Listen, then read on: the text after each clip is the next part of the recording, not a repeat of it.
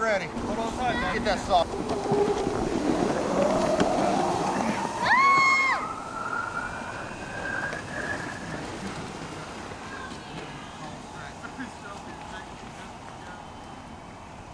We're very fine. Oops.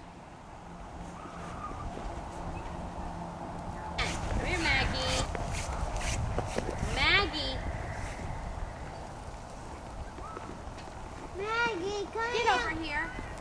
Matt.